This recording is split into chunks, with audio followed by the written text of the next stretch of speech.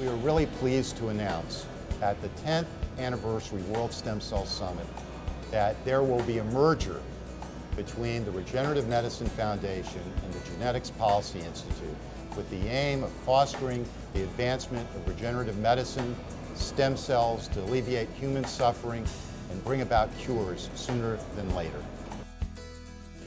What do you see as important coming out of the merger of the uh, two organizations?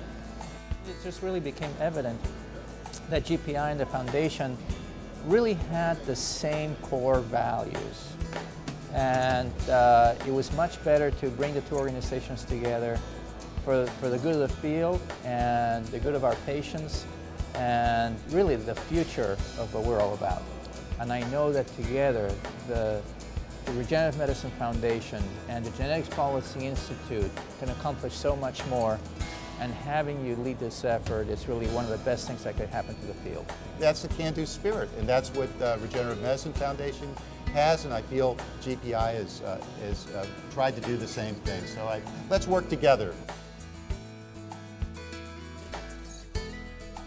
That was great, Bernie. Thank you. There's not too much more we can say.